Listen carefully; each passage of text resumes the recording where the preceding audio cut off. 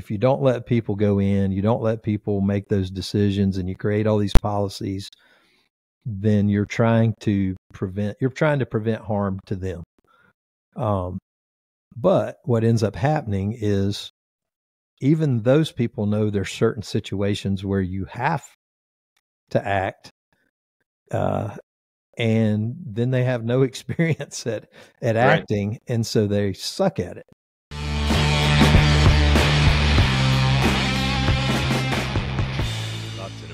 by job talks podcast members and guests are not representative of any department organization or city this episode is brought to you by Fortified Leather. Fortified Leather is owned by Nathan Welch, a firefighter out in Selma, California. Uh, I've had the opportunity over the last few weeks to get to know Nathan and learn a lot about his business, and I couldn't be happier to have him as a sponsor of the show. Fortified Leather comes from humble family beginnings when Nathan found some leather working tools left over from an old relative. He was in need of a shield at the time and decided to try his hand at leatherwork, and we're certainly glad he did. Since then, Fortified Leather has grown from making that first shield to a solid business shipping quality leather made goods all over the country. Fortified Leather makes leather suspenders, bunker belts, custom radio harnesses, glove holsters, flashlight holders, and a whole lot more. They're high quality and able to be customized, so if you're in the market, head over to fortifiedleather.com and check out our friend Nathan. Make sure to tell them that Job Talk sent you over. Don't forget to find them on all the social media channels, give them a follow and a shout out, and let's keep supporting our firefighter and family owned businesses. Hey guys, thanks for taking a second before the episode to listen to our sponsors. Just wanted to let you guys know that we decided to create a Patreon account as well. Unfortunately, producing this podcast isn't free as much as we love doing it. Between the equipment, the software, and all the editing stuff, it costs money. We want to be around for the long haul, and we want to be able to provide you with good quality episodes and eventually hands-on training. To do that, unfortunately, we need to bring money in. So we have our Patreon account. You can go to patreon.com slash jobtalks. That's patreon.com slash J-O-B-T-L-K-S. We have two tier subscriptions. The first tier is a dollar a month basically just letting us know that you support what we're doing and we really appreciate that. In exchange, we're going to give you 10% off any classes or lectures that we do in the future. We have another tier for $2.50 a month. And in that tier, we're going to actually invite you to be an audience as we record live episodes. So when we schedule an episode with a guest, uh, you will get a link to your email to view that episode live as a guest. And then from that subscription, we're going to pick once or twice a season somebody to actually come on and be part of the episode with us. Um, right now, that's what we can offer, and we hope you guys like it. We hope you'll support us. So again, patreon.com slash job talks, and we appreciate you. Hey, everybody, welcome back to another episode of Job Talks Podcast. We're here today with Chief David Rhodes. Chief, uh, thank you so much for coming on. Uh, I think uh, probably the biggest guest I've had on the show so far. So uh, I feel pretty privileged to have you here, and uh, looking forward to talking to you. Yeah, man. Thanks for having me. Um, I don't know about biggest, but would you would you like to give a quick uh, bio on yourself? I think most people who are watching uh, my podcast probably already know who you are, but a short introduction. Yeah. Um, so I started in the fire service in 1985 uh, as a volu- volunteer with my local Conyers Fire Department. They were a paid department with a few volunteers from the from the volunteer days, and uh, so I signed up just to kind of check it out and see what I thought. And within that was in September, and I believe I got hired in December full time. So I was just a volunteer for a couple of months, and uh, was full time with Conyers for uh, from like 85 to 1990. We consolidated with the county uh, fire department, which was Rockdale County Fire Department. And I was there for about a year and a half uh, after that consolidation. And then I went to the city of Atlanta in 1992 and did 30 years uh, in Atlanta. Uh, served through the ranks to battalion chief, and I ended up uh, retiring as a battalion chief, and I think I'd been a battalion chief like 17 years when I retired. Oh wow! So I was like the longest, longest tenured uh, battalion chief uh, there for a while. So that's pretty impressive career. And you, uh, you also were uh, instrumental with the Georgia Smoke Divers program, right? Yeah, I went I went through the program in uh, 1986, and uh, of course you have to complete the program to be an instructor. And so I came back uh, the very next class, which was I think I went through in October of '86, uh, and then came back to help start interning and teaching in uh, uh, March of of '87, and and then ended up uh, running the program for the last uh, 20 years, I guess.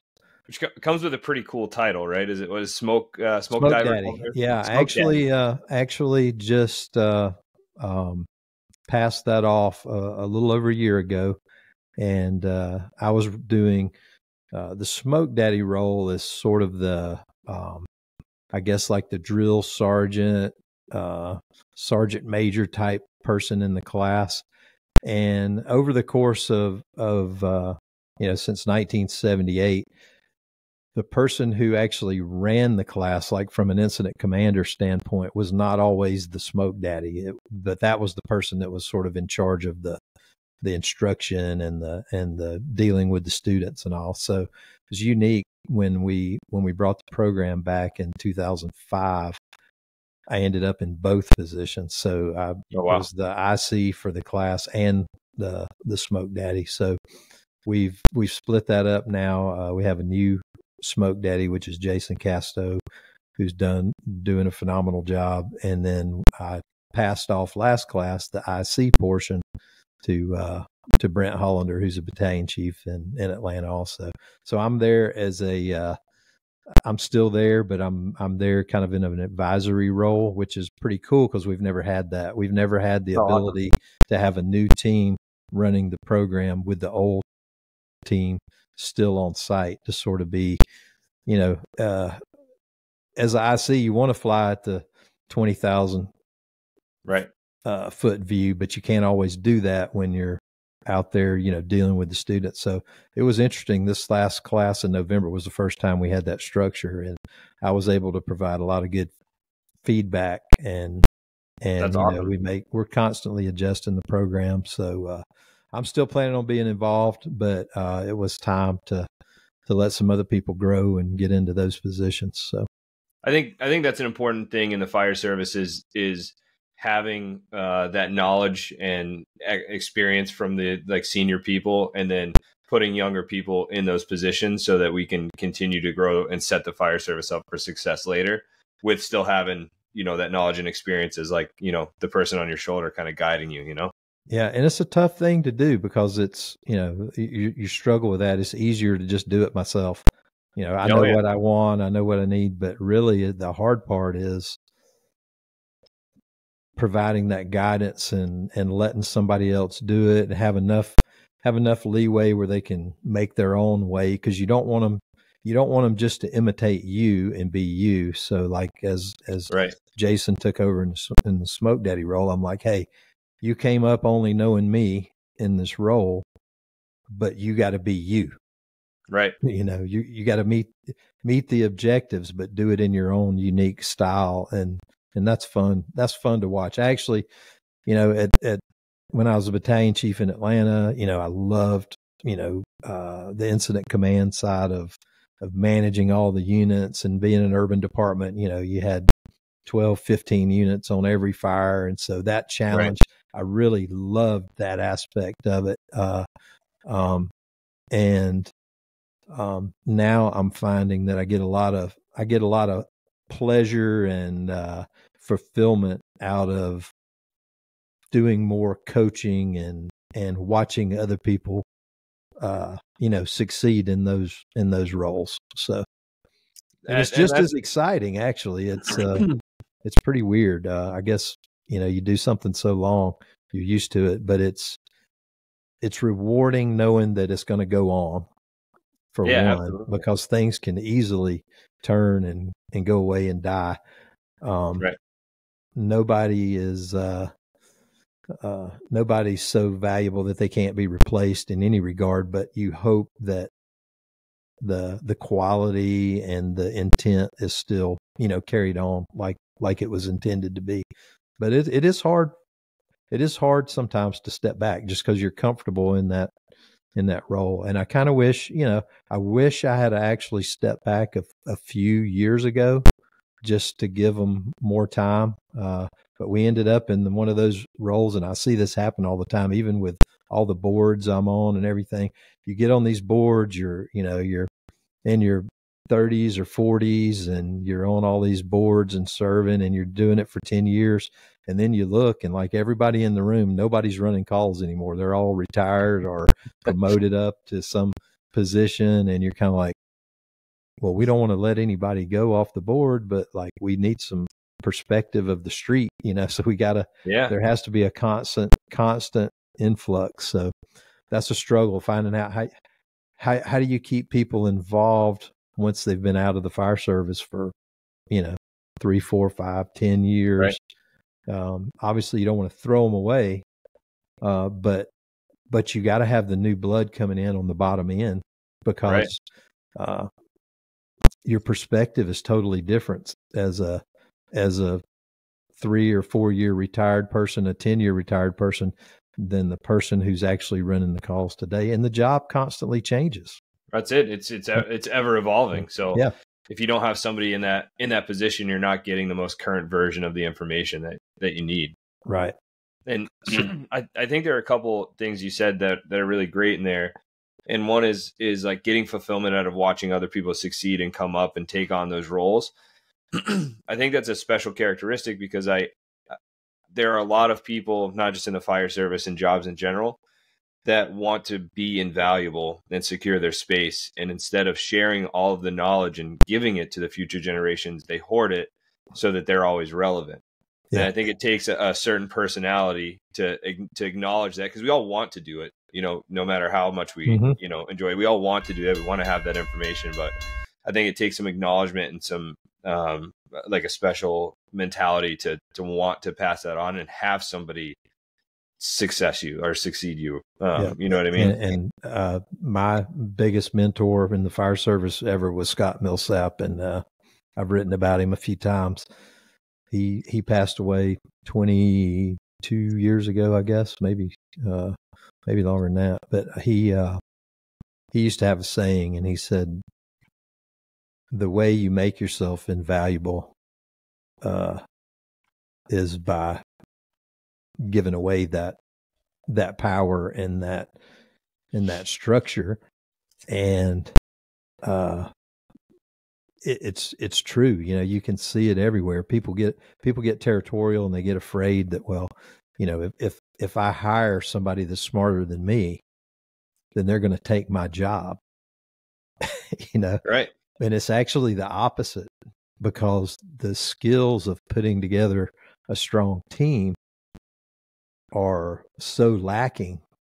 Um, a lot of people can function great as individuals, but there's a real shortage of folks that can put a team together and actually make it make it function. And uh, I mean, it's true. If you're if you're the leader of a team, you want to be the dumbest guy in the room.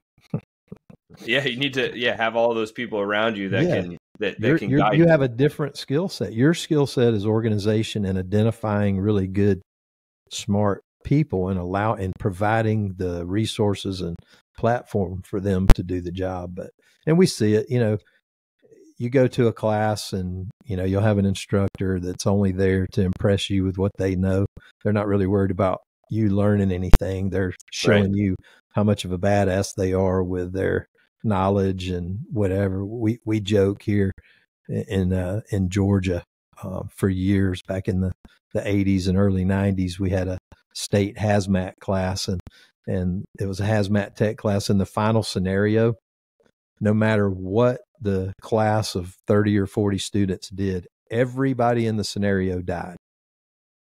You didn't do this, or the placard was, it, it said it was this chemical, but it was mislabeled and you didn't take that into account. And so everybody died. And it was to, for the instructors to show everybody how smart they were. Right. And then five minutes later, you're shaking their hand, getting your certificate, and they're going, "Great job, great job." But you right. like, you left on a. it's like everybody died, so right. you don't want to you know, you don't want to set those, you don't want to have those kind of scenarios that are, that are like that. But yeah, it's definitely. Definitely a, a, tough road to to to take to to step back. You got to let people make mistakes, um, but you don't want them to make fatal thing. mistakes. Right. I think it, well, this is actually one of the topics I wrote down to talk about. So, kind of the overarching theme is like the fire service as it sits and how we, you know, protect it and, and build it going forward.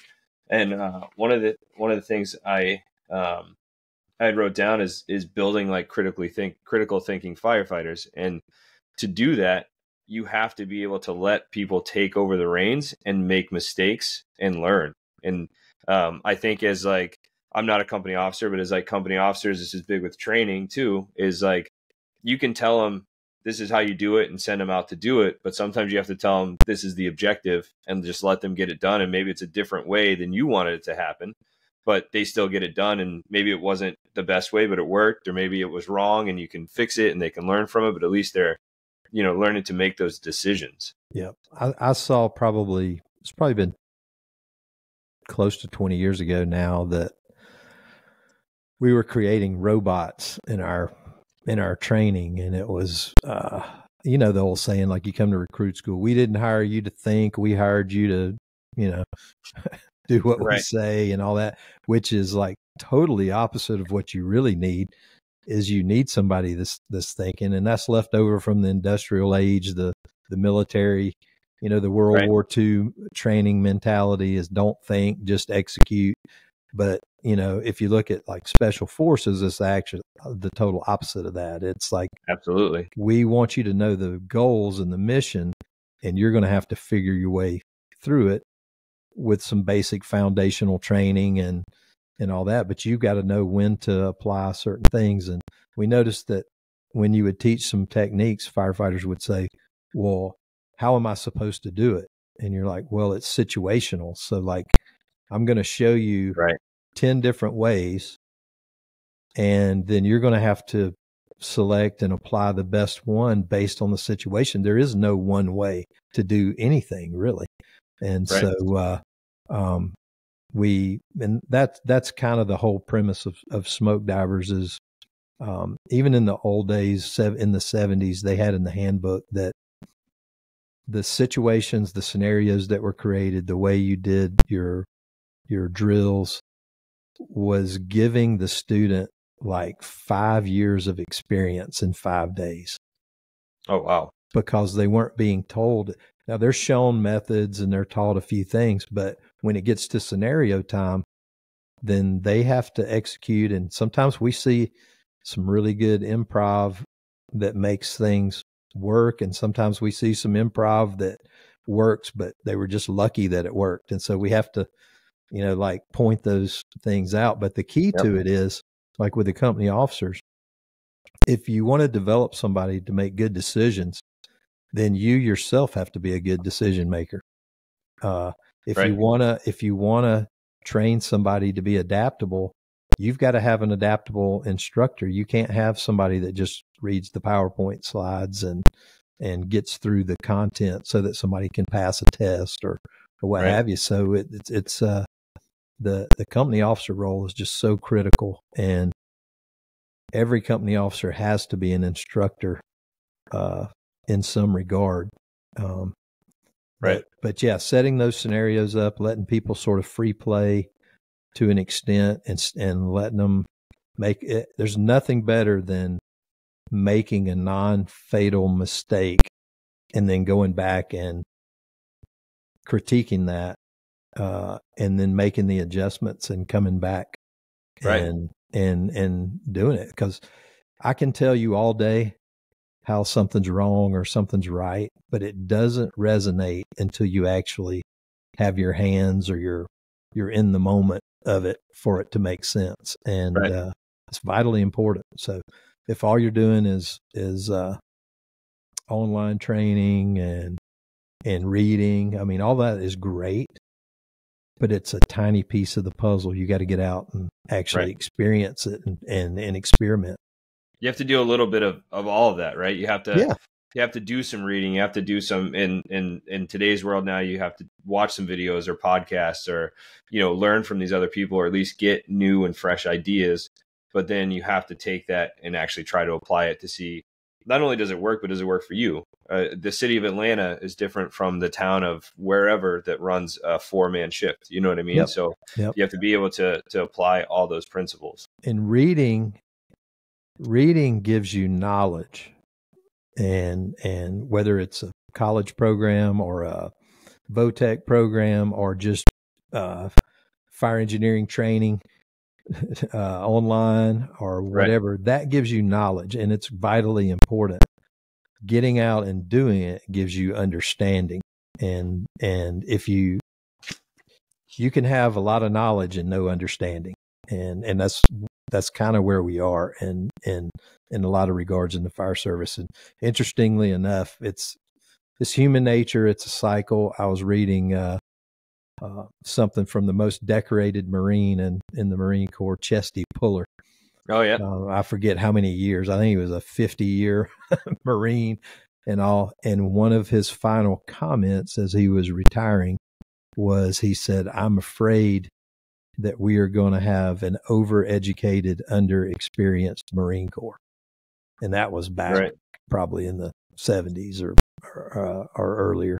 Um, but it's the same with us. You know, oh, you absolutely. get so focused on getting your research done and all the things that the um, your academies don't have a lot of time for innovation and and you know free play role play let's experiment with this you might have be fortunate to have an r&d section that does a little bit of that but for the most part everybody's kind of maintaining the status quo unless they're getting outside of their organization and going to FDIC or you know somewhere like that to get some some different right. perspective. So I think that's huge. Like you have to like I always tell people like the the recruit school or fire academy is like your basic introduction. And mm-hmm. then you're going to learn more hopefully at your particular fire departments, especially stuff that's relevant to how you work. Um, but then you have to get out and and go to conferences and do hands-on training and listen to people talk you know again in addition to reading and watching videos and all this stuff and then applying it and then bring it back and you know hey can we try this out? Does it work? Does it not work? You know what i mean? Right. and, and figure it out. Because if if you don't do that the the fire service doesn't progress right? Right. Yeah and what i find the the the larger the department sometimes the less that goes on in the large department because you're the big fish in the area. It's like what can what can such and such a department teach us? They're hosting a little weekend, you know, right. hands-on training class and all. It's like, oh yeah, those guys get like three fires a, a year. What are they gonna what are they gonna teach us? But when you go when you go and attend it, you're like you just you see things like uh, I remember I remember somebody visiting our station in Atlanta and it's something that I'd seen my whole career, but like they were from the West Coast, uh, from Washington State, and they came and they were looking at our our truck company, and uh, I showed them how we carried the cord reels in five gallon plastic buckets, and you know there was a hole cut in the bottom side with the plug out, and you could just drop the bucket uh, you could run with the bucket and stretch your line and plug in anything. And the, and the, you know, of course we had the big gauge cords and then they just wound back up in the bucket and they had never in their life seen that. And so they right. still had cords that were wound up over their elbow with a, with a strap on them and they were always tangled and, and all that. And they were like, who came up with that? I'm like, I don't know. I mean, that's the only thing I know. Right. But, but if they hadn't got out of their their area to see, then they wouldn't have learned things. So, right. and, and really, um, w- with just a few rare exceptions, most of the innovation happens in smaller departments because they're able to they're able to adapt and and change things a lot faster than a than a big urban department. You may see some individual station innovation, but as far as being across the board, um, it, it's hard for the for the big organizations to to implement all that stuff. It takes it takes a couple of years to do what can be done in a matter of days in in a smaller organization. So and they they need to be able to do it because they the efficiency is important, more important in a small department where you have four or six people on your initial working fire assignment versus having 25 people on your initial working fire assignment. They have yeah. to they have to be able to be uh, extremely efficient to get the fireground task done. So, um, funny story about that. My first fire in Atlanta as a I was on engine five, and um, we had a strict reverse lay policy. Is like you dropped a, a skid load that was two inch and three quarters to a water thief to a three inch line in the engine. You always got your own water. I mean, it, it didn't matter what the circumstances were. It was that's what you right. did. And uh, so we had this apartment fire. There was some there was some ice on the ground that day, and uh, I was on the nozzle, so I stretched one of the inch and three quarters, pulled the skid load. I stretched it up to the second floor, and I'm sitting there waiting on water and waiting and waiting and waiting. Of course, you know, we didn't know to close the door or anything like that. So like fires building and what was a basically a, a decent kitchen fire, you know, cabinets involvement coming into the dining room in this apartment by the time I got water, it was in three rooms. Wow. And uh, there was no send the booster tank water, you know, with this particular driver or whatever. And the whole time I'm there, there's like, gosh, there was probably 30, 30 plus firefighters on the scene. And, you know, they're all arriving at different times, but right on top of each other. And I'm sitting there thinking to myself, if I was in Conyers me and one other person on the engine, I would have had this put out 10 times by now because we would pull, you know, for something like that, we would pull a, a cross lay and and dump the 500 gallon booster tank and probably put it out with 100 gallons.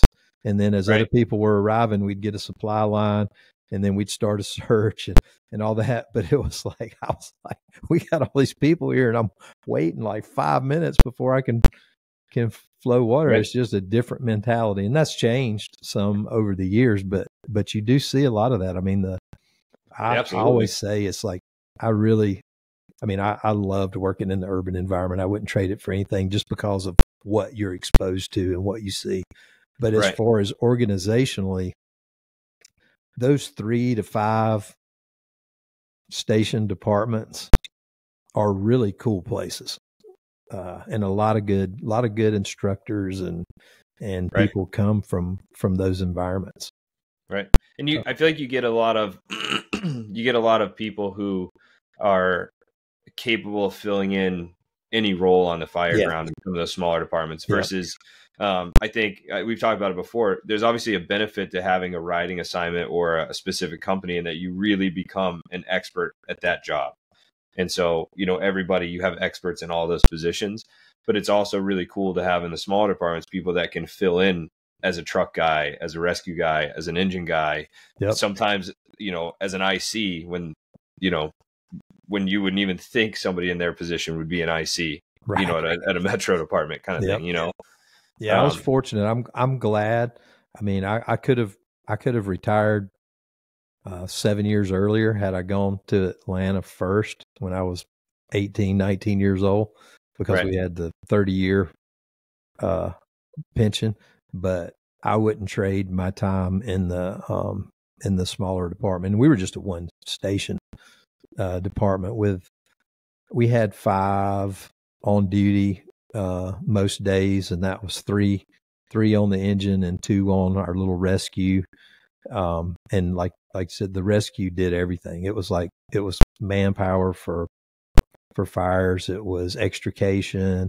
It ran medical calls, but it was it was sort of a it, it was a mini heavy. It was a mini rescue. Like it was it was a small vehicle, uh, right. like an it was basically an electrician's van.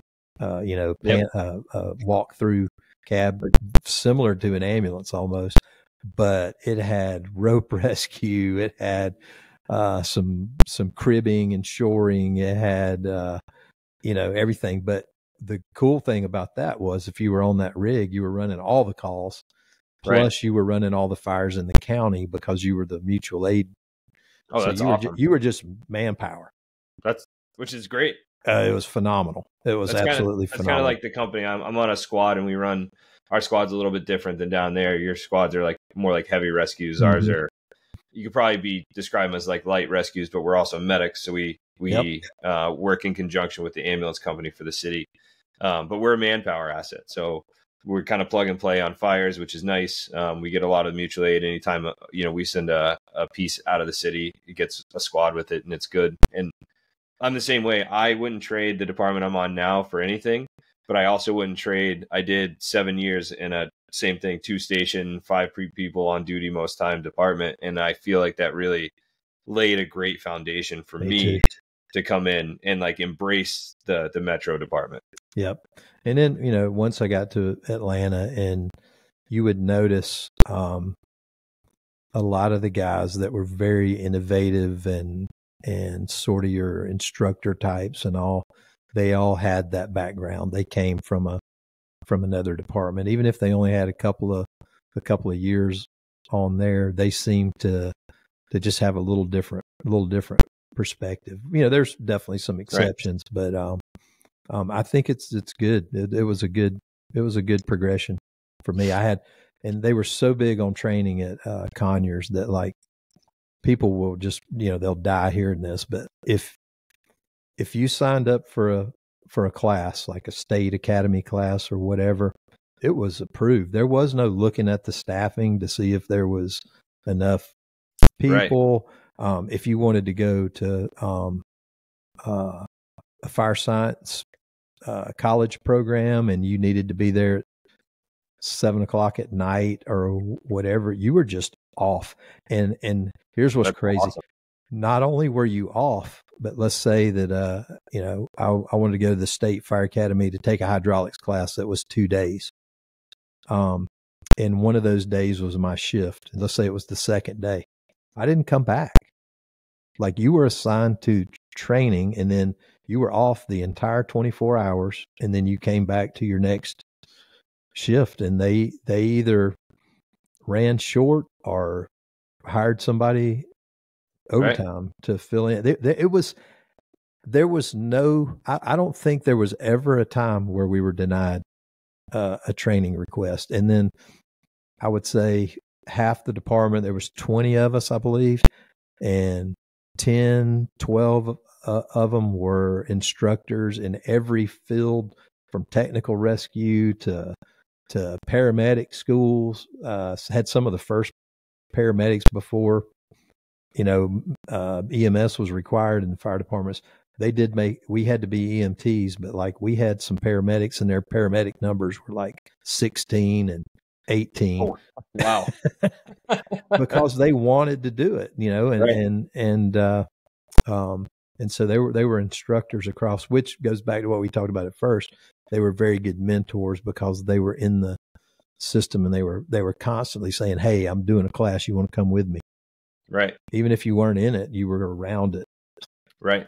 Right. Um, so which is huge and and i i found that i had some guys in my my smaller department that were more into like taking courses and that stuff um, but it wasn't really until the last few years that i started understanding how much was available out there like i just i did, had no idea and then we started doing this podcast almost two years ago now and that's when really things really started opening up. And it, it's been it's been a really cool experience for for me to see all this stuff and now start going and um, getting invited to come down and teach at some programs and stuff. And it's been it's been a, a really great it's been a really great like i don't know like progression through through my career so far. And i'm i'm not i'm only uh, i'll be 13 years in in may so i'm not i'm not too far into my career yet but Yeah. it's been a really great progression for me personally and and and i love it. And it's it's definitely due to those guys that hey i'm doing this. Do you want to go do it? Hey have you seen this? Have you watched this? Do you know this guy? Have you done this? You know it's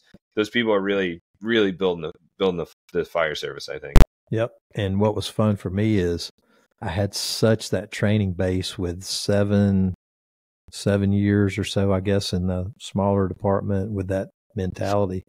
Then going to Atlanta, obviously I had to go to recruit school again and, and all, which was fun at the time, but it was Right. so basic. and I was actually a little disappointed because I was like, man, I'm going to get some really good stuff, and it was just the basics, you know, to to be able to pass the state certification right. test or what have you. But then getting to the station, just the types of calls were you, you could really use your use your training and um, exactly. we had these uh, back in the in the 90s we had these little two person rescues. We had one per battalion and they ran all the medical calls in the battalion. True. all right. that's a that's, and how so, many battalions how many battalions do you have in atlanta? Six. Well actually seven now uh, but i think it was six then. And so just to tell you how things have changed since you know the early and mid 90s those things ran every medical call in that battalion the engines and trucks did not go unless it was a car wreck extrication right. um, our ladder trucks carried extrication equipment but the rescues carried extrication equipment too well i came there as an emt already and so um, i think maybe two or three classes prior to my recruit class is when they started requiring EMT. So there yep. weren't very many EMTs in the in the department. So I would get detailed to that rescue um, a fair amount my first first year, and uh, we had you know a couple of couple of interstates. We had 285, which is the perimeter of Atlanta, and then we had 75 and 85 that came through our territory and we had a lot of uh, extrication jobs. And here I was, a, a rookie, brand new one year guy, and um, like I was pretty decent at extrication. And so, right. you know, they would all be, and, and I was kind of, you know, I kind of was like, it's not really my place to get in there and say we need to make this cut and spread this and do that. But after a while, you just kind of like, hey, uh, let, let me let me try this, and then you, then you pop somebody out after they've been struggling for five or ten minutes, and then they kind of look at you and they're like, you know, you're not supposed to know how to do this. You're you're new because they don't. Nobody's time prior to coming to you know the city is it counts for anything, right? Especially oh, yeah, in those days. And so, and it was pretty neat. And plus, we had like Stokes basket. We would have some, you know, you may have something like I remember they found a body in a creek and it was down like 60, 70 feet down this embankment and we're trying to figure out like how to get, how to get them up. Had the medical examiner and stuff. And I'm like, well, let's use the wire basket and the winch and grabbed like six guys and rigged them up some webbing and clipped the carabiners on and adjusted the height so the basket was level as we all kind of just sort of walked up the, the hill with it and right. strange looks. It's like, where did you learn this shit? So I was like, Conyers Fire Department.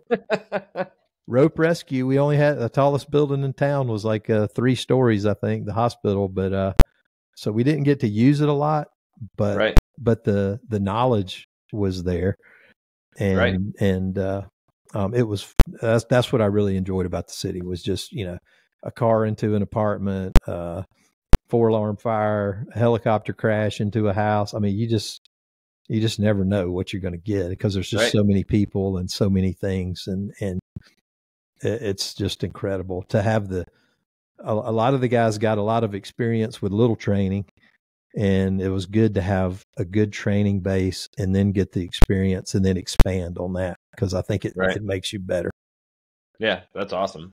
And at what what point did you um, start getting into um, like being involved with um, FDIC and stuff. So you you said you started with the smoke divers in 80 86 86 mm-hmm. and at what point did you did you i know you said you instructed like the next class after that but what point did you did you feel like oh i, I really want to like get into being a part of like educating the fire service um so um again my mentor scott millsap um was he was a training captain in Dalton. He ran smoke diver program.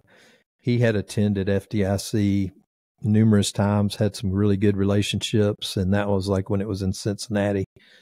And uh, when they decided to do hands-on training, um, they put together, I think it was like six different groups, um, and he had a training company at the time, uh, ESE Training Associates, that I was a part of, and we did a lot of.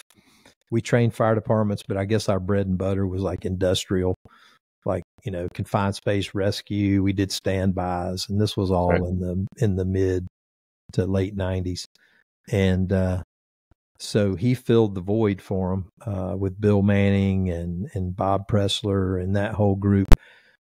He he agreed to do uh, some rope training, and uh, it was all in the parking lot behind the RCA Dome, which is gone now. It's now Lucas Oil Stadium, and so he he put a group of instructors together to go teach, and I think that was ninety seven.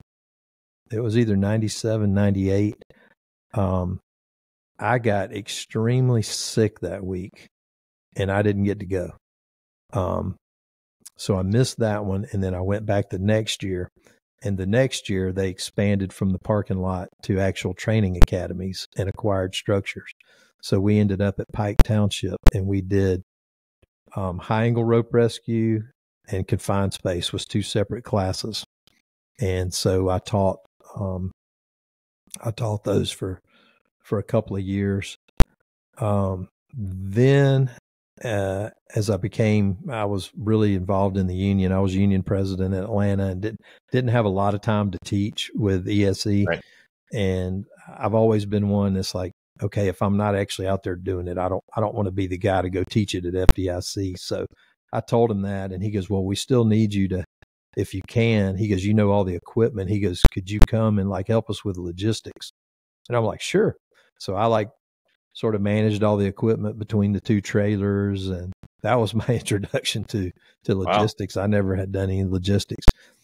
Um, then they they shifted directions and they put a five person team together to manage hot, and uh, Scott was one of those five, and so he asked me if I would do logistics for the whole thing, the whole FDIC, um, hands-on training, and Brent Hollander was doing safety, and then Scott passed away before the first show that he would have had as sort of the hot coordinator or whatever, and then that was like around 2002 i believe and so right after 9-11 so after that i started as like the logistics guy for Hot and did that forever. And then that sort of morphed when Bobby Halton came along.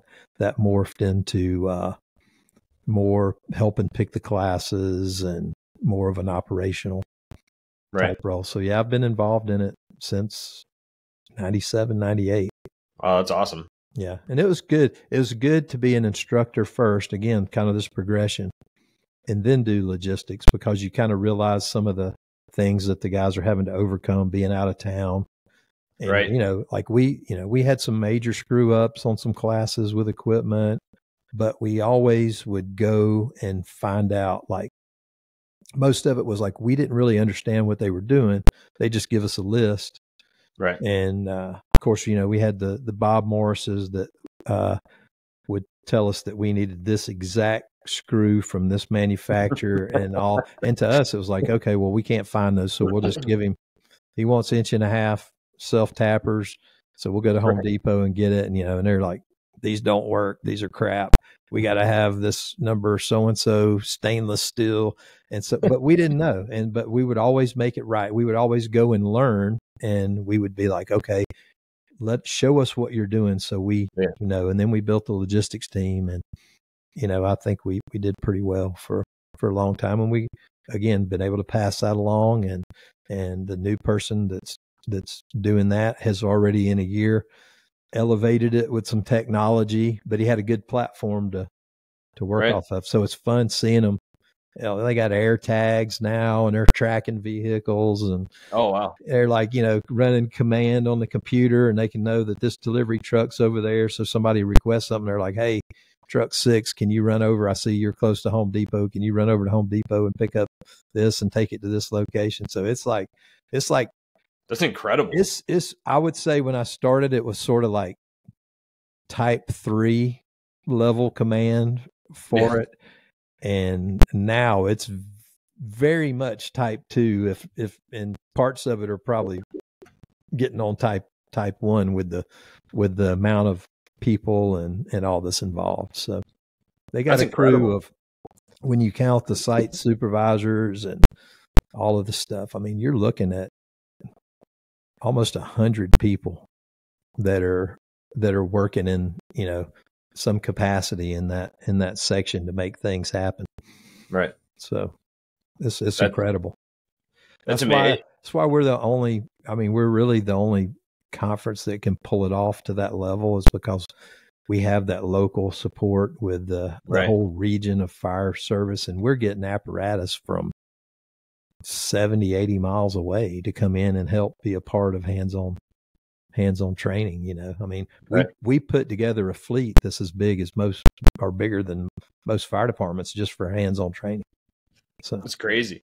Yeah. And you know, like everybody knows that there's a lot of logistics that go into it, but hearing that, I don't think people realize quite how how involved that is. That's Yeah. That's uh that's something. It was fun. It was it it was fun to me. I'd never I'd always been an operations guy, but doing that it I probably learned more about management Yep. doing logistics than anything else. And then as I became a type three incident commander, like for the state of Georgia, and we would deploy to hurricanes and tornadoes and all.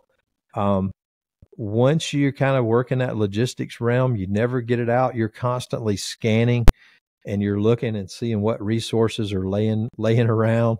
And because it's all about you know improving and and and make Right. do. So like when we went to Katrina and some of these other things, it's like you learn how to how to how to do stuff, you know, and, and what you want is a whole team of MacGyvers that Right. can that can you know build a bomb out of duct tape duct tape and a pencil, Right. and uh, and it's figure it fun because it's a challenge, Right. and uh, and so yeah, every time I I find myself all the time like I'll walk into a station and I'm looking around and I probably got an inventory in my head is like okay, there's 10 five gallon buckets in the corner, there's you know it's stupid stuff, but like when when you work in that realm for a long time, and then I started getting all the uh, all the NIMS, I did all the all the type three uh, position specific classes from finance chief to operations to planning, IC, uh, everything. And uh, when I took the logistics class,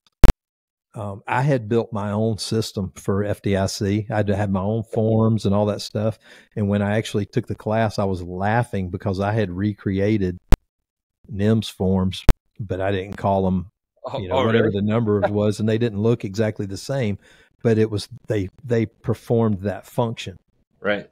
and uh, i thought that was pretty cool and uh, the guy that taught our logistics class he had a uh, i guess it's a pretty well-known saying or whatever in the logistics world but it was like if logistics was easy it would be called operations I like that. I like that. Yeah, I, I don't think logistics is something that everybody has uh, a knack for and is able to do. There's a lot of lot it of wins moving, wars moving pieces. Absolutely. Where they say the difference in in in like winning wars is is the difference between like uh, tactics and strategy. And logistics, you're you're that upper echelon. You're the yeah you know and part uh, of the i forget i used to know it off the top of my head but like for every for every soldier on the front line is like 12 plus positions behind of support and that's why Right. We're so strong as a as a military you know Right. because a lot of people have the the folks to go out and shoot but can they sustain can they feed a thousand people up front can they right? put fuel in the vehicles and that's that's what makes they- it work Can they pay them? Yeah. You know, like all, all that stuff matters. All that stuff matters to the frontline guys. Yep. And that's you know, that's where a lot of your problems are in the departments is like in the logistics area because you don't have the fleet maintenance support, you don't have the station maintenance Right. support. You got the firefighters and you know, but you got to keep the trucks operating and and the equipment replaced and and working. Sometimes you'll get a grant and you'll get all this high speed whiz bang equipment, but it's broken a year and it sits on the shelf for the next five years. Right. And you You can't do anything with it because you got a press release out of it. You know, we we got 30 new thermal imagers thanks to Right. blah blah blah blah blah, and then follow up in a year and three of them are operational. right.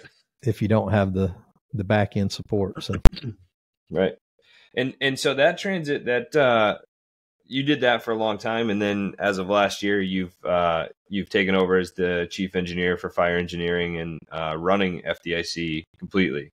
Yep, two two hats. So I'm the editor in chief of fire engineering, and then the education director of of FDIC, which is really two full time positions. FDIC you, never you stops. You were retiring. Yeah, the the magazine, of course, is a is a monthly publication, twelve issues a year, plus the website. Right. Um, and then FDIC um, happens in April. Um, the call for papers opens in April. It ends, I think, the end of June. Um, so we have a little bit of time between the end of the show. Of course, there's some financial stuff that has to be done and bills have to be paid and all that. But beginning uh, like July 1st, when all the papers are in, and you know we got a thousand six submissions this year, I think, for training classes. Right. And then we start that process of organizing those, going through each one, distributing them out to the board members to review and comment and then by August, the first week of August, we're picking the classes. Yeah, I uh, and, I interviewed um, Ray McCormick and Stephen Runyon, and it was right around they just just finished. They both sat on the board helping pick those classes, mm-hmm. and uh, they were they were telling me, oh, um, it's a process. How many you guys get, and the the process of doing it, and yeah, it sounds As wild. a board member, I used to review about three hundred, and of course now I look at all of them. But um, right, uh, yeah, some of our folks are we send them out based on like your expertise. So like everybody doesn't get all of them. Uh, you know, right. if you're an engine engine guy, then you get the engine classes. Some people are leadership gurus; they get the leadership classes and so forth. Technical rescue, and then we, you know, we narrow them down, and uh, the notifications go out, and then the paperwork trail starts, and then the logistics list are in by December first and then like we we joked we were closed the whole week of Christmas uh, as a company, and then came back to work the second. We were all laughing. We're like, when we come back the second, you know, it's like FDIC on steroids, hyper right. drive, and and and so now all of that's getting getting tied up. People are getting their rooms and booked, and they're uh, you know the guys are working on the logistics list and uh, room assignments for teaching are being made, and people some people are canceling because they ended up with a conflict, and we're substituting new people. I think the right. the web app launches, uh, I think on the eighth. So like everything's going to be on the app this year. You'll be able to. Oh, awesome! You'll be able to select your classes, and you can select what vendors you want to go see in the in the showroom and all oh, that cool. stuff. So everything will be on the on the app this year. So all of that's, I mean, it's, and it's a big, it, it's a big task with a very small group of people. And, uh, you know, I'm just one, one part of that. And then right. we have, uh, you know, phenomenal people like in marketing and we got registration and our finance team and operations. I mean, think about, I mean, somebody's got to hang the banners, somebody's got to assign the classrooms and, uh, they got to build the bookstore and they got to get all the move in and move out of all the exhibits. And it's, it's a phenomenal operation and it's a great team. It really is a great team. It's, it's work, but it's, it's fun and everybody right. enjoys, uh, you know, nobody sees the sausage making through the year. Right. And I was talking to somebody yesterday and they were like, man, it's amazing at how big that is and that it comes off flawlessly. And I'm like, well, it's never flawlessly, but it's like a, a wedding. You know, you don't see the people behind right. the scenes, you know, right, running, scrambling to make sure this works or right or that works. But but that's what it takes to pull off something that big. I mean, it it takes a huge team, and it's it's a phenomenal. I'm I'm very proud to be a part of it. I never saw myself in this in this role, but uh, again, I'm glad that I had the progression from instructor to educational education director and editor in chief because I've always found that if somebody's pulled in from another industry or even even with a fire chief, a fire chief coming from another department, that doesn't have the foundational knowledge of that department is sometimes very tough. Right. Know, there's a lot of people that can manage things, Yeah. but to have the pers- the perspective and the experience, I think, is just invaluable to to know what Yeah. it's like to be an instructor and know, you know, Absolutely. it it, it, it helps in your decision making for sure.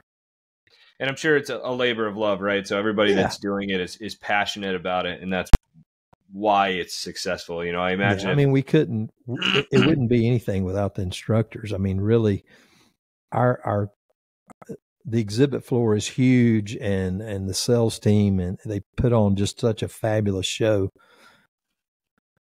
But the the hook of it is the quality of the education, and Right. it's you know, um, we don't get it right hundred percent of the time, but like we try to have a good variety of you know, rural, urban, volunteer, career, and whether it's health and wellness or technical rescue, we try to have a good variety and and uh, and have people that actually have have done what they do. If you if you've heard us talk about how to get picked for a class, it's like you know if you live in the middle of uh, of nowhere, like like with my department that had a three story building, right. you, you don't don't propose uh, command and control for high rise firefighting, Right. even though you've taken the class at the National Fire Academy and you may even be an instructor in it. It's like we're looking for people who've actually done and have the education and the ex- experience to go with it. So again, back to the knowledge and understanding. We want all those instructors to have good understanding so that they can pass that along. and it, it and it, it i think it builds buy-in and good reputation too so people know like i'm getting training from somebody that has this real world experience not just Yeah. theoretical experience And the other the other beauty is is of course we we don't want this to happen, but if you go sit in somebody's class and you're in there 10 or 15 minutes and you're like, eh, Right. exactly what I thought. You can get up and leave and go somewhere else. right Go to another class. So um Right. I mean there's plenty of plenty of choices. So that's awesome um but we're we're getting uh, we're getting close to that hour and i i know that your time is invaluable especially right now um so i just want to touch on on one one last thing so i shared on our social media um a portion of your speech um from this last last fdic reminding me a lot of uh the uh, culture of extinguishment speech from 2009 mhm. uh, by Ray, but the talking about being unapologetically for search culture, um, for extinguishment by occupying and opposed to equipping and training firefighters only to take, take away their ability to make decisions and uh, and and have a risk averse culture. So um, to to wrap this up, can you maybe talk on how we how we continue to build that culture of um, you know the difference between being well trained good firemen and fire firewomen and um, being risk averse in in our practices and how we can we can build that to to ensure you know the fire service going forward Yeah, it's uh it's definitely a struggle. Um it, it- all to me it all goes back to to the leadership of the individual organizations uh a lot is definitely saw um a shift and it was probably a needed shift um because there needed to be more structure, more command and control, more coordination to try to reduce the firefighter fatalities. But as with everything, uh, uh, I think I even used this line in, in an editorial coming up, but like the road to hell's paved with good intentions. right And so, um, combination of things happened. I think again back to the overeducated, underexperienced. We put such an emphasis in the last 20 years on education, formal education, that when you structure your promotion system and all, and it's around formal education, and that's the the the benefit, then folks go to that and they spend their time there and then they get promoted through the system. Um, it's a special person that spends their time there and in the hands-on training arena, learning and and all. And so, um, I think once that that shift happened, you had a lot of people who were overeducated and underexperienced in charge. So it's difficult to make those decisions on when to go, when not to go, how to profile, how to how to truly do good risk management on the scene. And nobody nobody wants anybody to get killed, right? So I mean, right. that's the common thread. And uh, I think it sort of created this culture war of total risk averse is like, okay, I, if if we got anything significant burning, then we're not going in. Uh, right. Search is an afterthought after the fire's put out, and uh, and it. I look at it as the easy button. If you don't let people, if you don't let people go in, you don't let people make those decisions, and you create all these policies, then you're trying to prevent. You're trying to prevent harm to them. Um, but what ends up happening is even those people know there's certain situations where you have to act uh, and then they have no experience at at right. acting and so they suck at it um, and then you take it a step further and you say okay we can't do live fire training because of the exposure or because we can't burn acquired structures because of the the regulations and it costs too much to do the abatements and and all that stuff. And it, and it, and it sort of snowballed over probably over a course of 20 20 years or so. Um, and and you we we ended up with a with a really weird split you still have what i call the uh, um, not so smart aggressive mentality in some places that is like we are going in everything no matter what if there's fire coming out the window i'm going to crawl in the window first and then i'm going to have them pass me a hand line and right. i mean there that still exists we have to admit that and right. and um and then we have the other extreme of we're not doing anything interior until we've checked all these boxes and stuff and then there's a lot of people where i think we're getting back to the the middle is and it goes back to that decision making is you got to train your people um, so that they can make those decisions on the fire ground and right. yes i think that we need to search the buildings uh, where we can search them but we have to be smart enough to know also when we can't and right. that's the tough part and unfortunately I'll put myself in this category because I, I always assumed as a command officer and as a firefighter, I was aggressive in the terms that most people know as aggressive, but I was not reckless. Um, if aggressive that, make, if that makes sense. And, yeah. and unfortunately, a lot of people in my position got deemed as reckless by the group of leadership that didn't understand what we were doing. Right. Or were afraid because they didn't have the base knowledge. So, right. you know, that's why I don't like skipping rank. I don't like I don't like getting people getting promoted to officer and going to admin for six, seven years and then getting promoted again and then coming into operations as a tactical. I mean, you you got to have a system that creates operational um, competence. And uh, um, my my personal view of safety is, yes, we want safety, but we obtain safety through competence and and decision making. We don't obtain safety through just policy and rules that say no. Um, and actually, I think it has the reverse effect. I think in the long run, it makes things more unsafe because we don't have the experience. And, you know, simple things like an abandoned structure. Uh, obviously, that's another debate abandoned versus dilapidated. You know, oh, yeah. or, or, or vacant versus dilapidated. You got to be able to make that decision when you get there.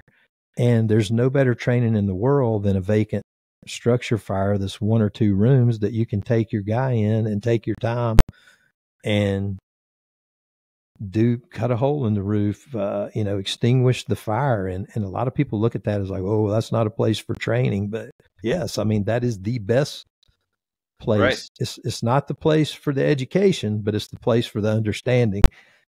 And you got to get right. that, you got to get those reps in on those type of calls. That's why I'm such a proponent for acquired structure uh, training, even though that's not hundred percent uh, the way it is when we when we go uh, on a call, but it's as close as as we can get it because the building behaves a certain way. So, right. um, I, I see that it's. I'm very hopeful that there has been a shift. I don't think it's like a monumental earthquake type of of shift, but I do see that a lot of people who came up in that very risk averse thing have now they were they were in that as firefighters and now they're becoming officers and chiefs and they're and they're loosening the reins a little bit if if you will and people right. are people are talking about um search more and one of the greatest things that uh has come out is is uh is like the the UL studies where um, of course, when it first started, you know, there was such a controversy, and and it was right. like you were either you were either for the little pencil pushing scientist, or you were or you were for the the uh, salty, dirty firefighter. But as you dig into, and and a lot of that was just UL didn't have the mechanism to get the information out. They had two right. people that was doing research, and they wanted to get stuff out. So other people were taking and putting the information out, and it was their spin. Oh, so, interesting. So what's what's human nature? You're going to latch on to the pieces that support your agenda. Right. Right. So I'm going to exploit this piece, but I've ignored this piece over here. Once they got the capability to actually produce and control the narrative of their material and, and get the material out, then that kind of has changed. And you've seen that a lot of people are realizing, hey, um, this is what this meant. And and the other thing that it opened the eyes were is like firefighting's local. So oh, what oh, works for that one person pulling up on an engine company by themselves, you don't you may not have to do that in in an urban environment where you got 35 people, but it was letting you know what the effects were on the actions that you took. Now right. that we've done the search, um, and it's interesting because, like I said, people latched on, a lot of people latched on to that exterior firefighting and you know we had the whole we got the whole culture now hit it hard from the yard and oh yeah and, and all that which is it was just like so blown out of context um um and i told i tell everybody if you've ever gone up to a front door where fire was blowing out and fought your way in you have done what the study talked about um, now right. you still got to go in and put the fire out because if you don't then that's just a defensive move. Right. What they say the the failure of a transitional attack is you never transition. Right. Exactly. so, it, but but again, it's situational. Right. Two people on a rig. I mean, you, it, it, they proved that you can put water on the fire and make things better, but they didn't say that you had to do that every time.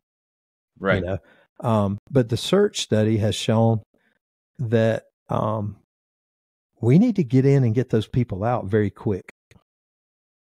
We right. don't we don't need to screw around and wait on all this. And I actually wrote about this not too long ago. It's like you, you know, by the time you get your size up done and you've established command and you've done all these things, then the cop has made the rescue.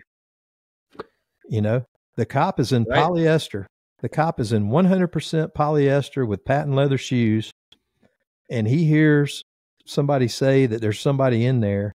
And while we're doing all the things and we're checking all our boxes and we're getting our water supply and we're advising the second unit to come in and all that, the cop runs up to the porch or, or a civilian and goes in because it's a one room, two room fire back in the back and finds somebody laying on the floor and drags them out with no gear, no right. air pack.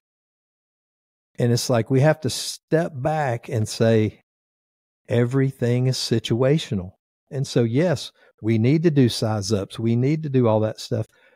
But if we have information that somebody is there, uh, and I used this analogy in, in Phoenix last last year, uh, we got to think of people in a structure fire that are trapped, just like we would a kid in a swimming pool. If there's a kid floating in the swimming pool or down at the bottom of the swimming pool, you jump in and pull them out. Nobody nobody checks your certification. Nobody you don't have right. a dive team, you don't have a safety team on standby. You don't have any of that. So if we know somebody's in there, we got to jump in there and get them out. Maybe we got to close a door, you know, uh, to contain the fire. But we have to change modes based on what we're presented with. And unfortunately, you know, there'll probably even be some people that will misinterpret what I'm saying and say that we got to be cowboys, and that is not it. That right. is not it. We have to use common sense and we have to be so educated and have so much understanding that we know what we can do and what we can't do. And we got to right. know, okay, there's somebody in there, but I have to have a hose line right, right. now to be able to get this. I also have to know, okay, I can send somebody up to the second floor through a window to get that person out while I'm getting the hose line in place for the first floor fire. And that is not unsafe. Right. If you've trained to do it. Um, and, and I'm, I'm, I'm helping some people and some pretty big organizations work through that. Like, you know, they will not let you enter the building without a hose line in under any circumstance. Right. And uh, and if we're going to be successful, we need Cyanokits, and we need to get people out of that environment within six minutes of our arrival. And right. uh, and we'll save a lot of lives. And uh, uh, shout out to the rescue survey guys. Uh, um, what a phenomenal tool! And if you notice, uh, we talked about innovation earlier. Where are a lot of these things coming from? They're coming from the bottom up. Right. Just like RIT. RIT RIT only got popular once 1500 came out, but RIT, you know, I remember Lombardo and his guys starting the fast teams in Buffalo out of necessity. Right. And so that created that movement again from the bottom up. And then it ended up becoming uh, policy, and then another one that's misinterpreted all the time. But uh, um, those... I think I, I think that that firefighter rescue survey and data not drama are two two yeah. big two big keys because just like you can use the studies to show you you know how what you do affects the fire and and all that like we we have the tools to show that okay we lose firefighters but where are we actually losing them? Yeah. And we rescue people and how are we actually rescuing like survivable victims? Right. You know and and and i think i think that's that's hugely important.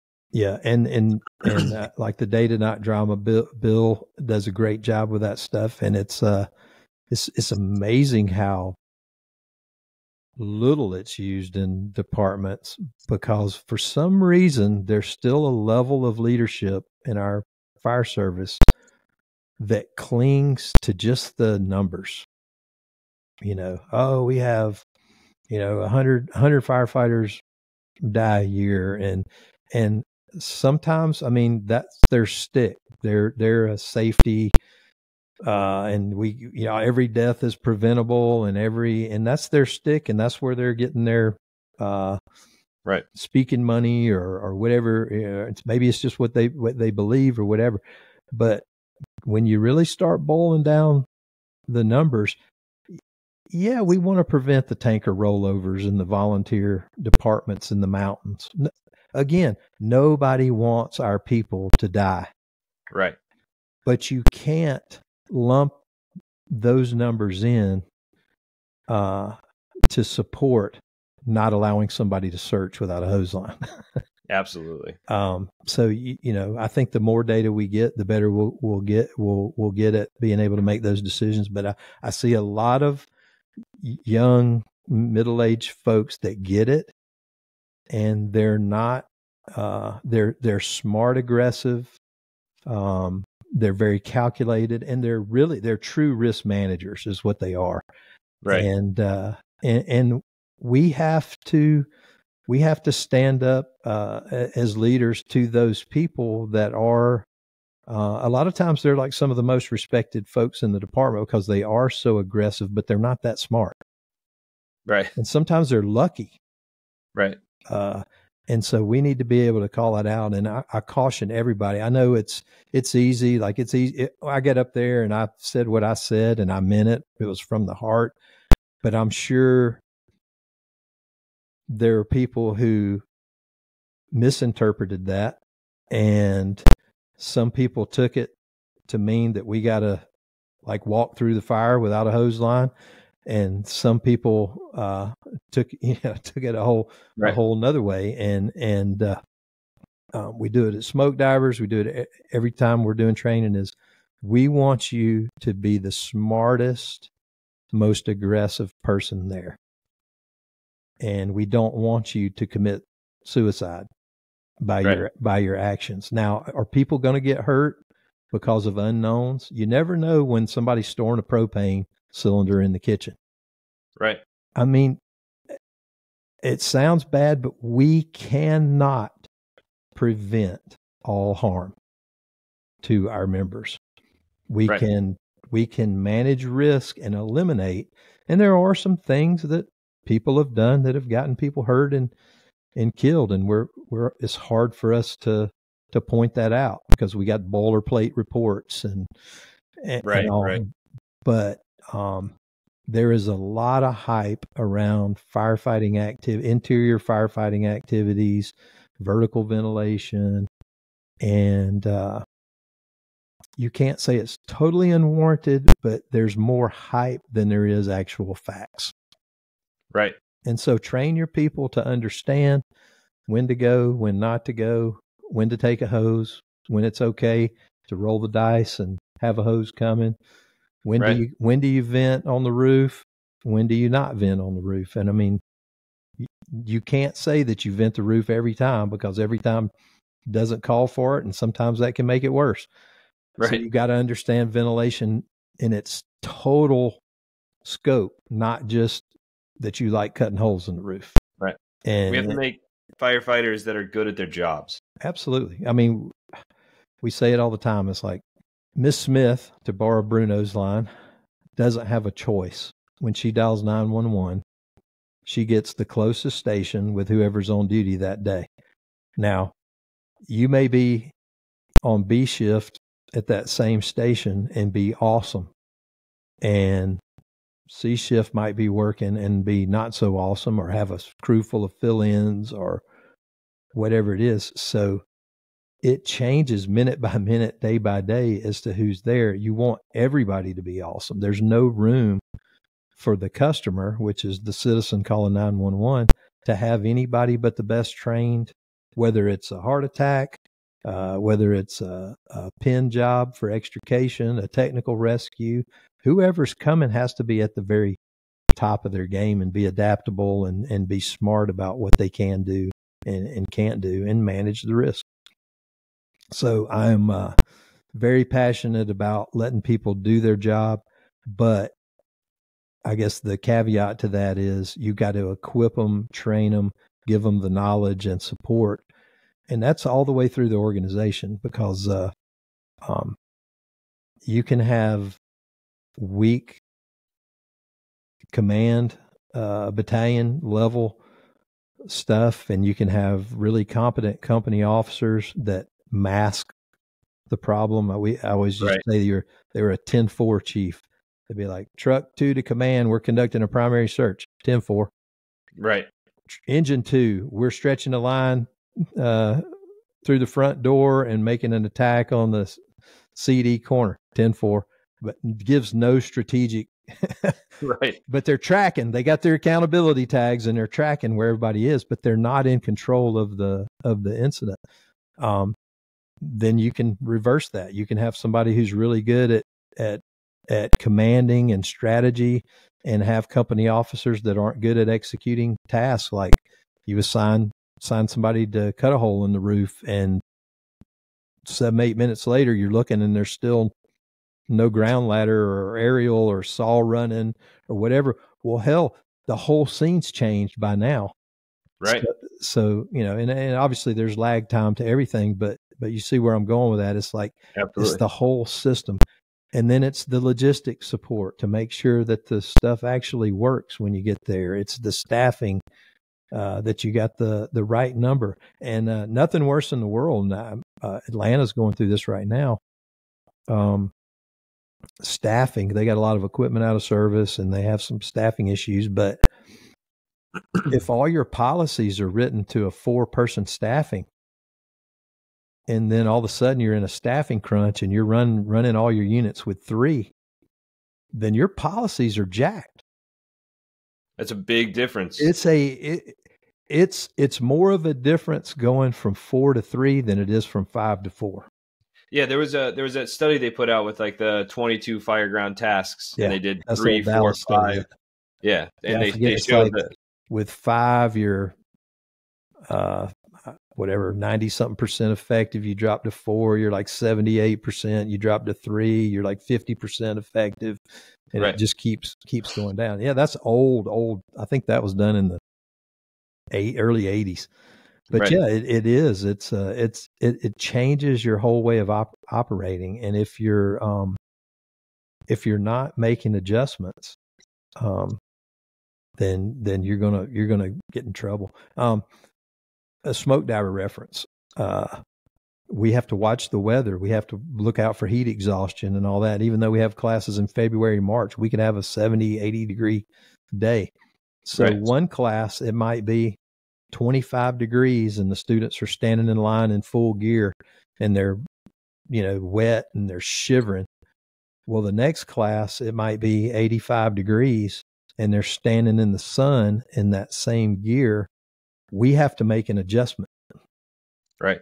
Because we got to throw some shade up. We got to loosen a coat. We got to tell them take their hood off. Uh, and because if we do it the exact same way every time and don't look at the elements and the environment, then we screw up. And it's a really and, it's a really easy way to explain that just adjustment. Yeah, and look well look at the most common mistake of the fire service. At all. Uh, you go to ninety percent residential fires, you pull an inch and three quarter, uh, inch and three quarter back up, or or whatever you're pulling, and then you pull up on that eighty by one hundred warehouse, and you pull an inch and three quarter and you pull an inch and three quarter back up because that's what you do. Right. Right. And so you didn't change based on the environment. You didn't right. think fuel load. You just go to what you're comfortable with. And, uh, and that's where the understanding right. comes in. So training is, is, is always the key. Um, and, and getting the knowledge, getting the training in, getting the reps in, and then having a good understanding and being able to apply it. I mean, that's, that's, the simple secret to success. Man, that's that's awesome, Chief. Uh, I think I, I blew your your time. I I quoted you here of an that's hour. I think we're we're hitting we're hitting close to an hour twenty right now, and uh, I'm happy to talk all day, but I know that your time is valuable. So, um, I think that's a really good spot to to leave it. I think that's a, a lot of really good information. I think that uh, kind of sets up for me the the hope uh, uh, the idea that I kind of wanted out of this episode. Good. And uh, I, I mean, there, I have so many notes that I like didn't even get to because the talk we'll was just so good. One. So yeah, absolutely, Part I would two. love to do that. I'm, I'm, I am down anytime. Um, like I said, I know you're you're a busy person. Um, I'm actually going to be going down to Atlanta for the Metro Atlanta conference awesome. in May. That's so May, yep, I'll be there. I know one day for sure. All right, awesome. Teaching uh, size up for search, I believe. Oh, awesome, yeah. awesome. So hopefully I'll I'll uh, I'll get to uh, to at least uh, meet you in person um, at some point. But uh, thank you so much for coming on. Really, it was uh, it was great, and I really appreciate uh, your time. And one of the things that's been really great about doing this podcast, and again, it's something that I probably said a hundred times, is just on a whim, like reach out to somebody, and and overwhelmingly, people have been really receptive to coming on and talking about it because people care about the fire service and that's they're passionate it. about it, and it's uh it's been really good. So I I uh I thank you for for being a part of that with us. So absolutely hope to see uh, you and everybody at FDIC. We got a lot of we got some new things this year that are going to be really um good for folks. I think uh, if you go to the website, we obviously we got the standard hot classes and a couple of new ones. but we have what we're calling a hot workshop. And uh, everybody's familiar with the workshops, which were like four hour classrooms. And then we had hot, which is get on the bus, go to a site. So now we're adding in hot workshops, which are kind of returning a little bit to the roots of hot with the parking right. lot and all, but you'll get an hour, two hour lecture with some very iconic members Ray McCormack, Mike Ciampo, Lee Hollins, uh, Bob Morris, a lot of those. So you'll get a smaller yep. class. You'll get about 30 instead of the 55. You'll get some knowledge in the classroom and then you'll go outside and get some practical. And you can get as much practical as you want. Like if you have your gear and you want to participate, you can. But if you don't travel with your gear, but you kind of want to see the techniques up close, then you know you can be there too. So it's sort of a hybrid cool. thing we're trying. We have, uh, I think we have six or seven of those. Um, so we got tower ladders, we got forcible entry, we got uh, engine uh, boss leadership with Ray. Uh, we've got the FDNY training. Guys are doing uh, remote tactical training, teach you how to use iPhones and um, oh, cool. live broadcasts to to get your training message out. Um, and then we've got uh, Dennis LeGear going over um, how to spec how to spec your pumper for performance.